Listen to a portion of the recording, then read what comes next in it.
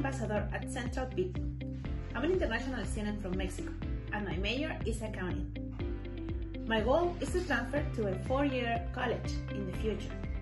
I'm also involved in the Global Student Association and the PCW, or Positive Community for Women.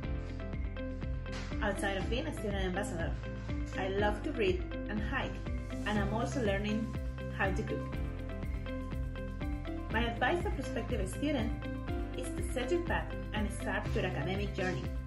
Never is too late or too soon for getting the tools for a better future. Thanks for your interest in Central Piedmont, and I look forward to seeing you around campus.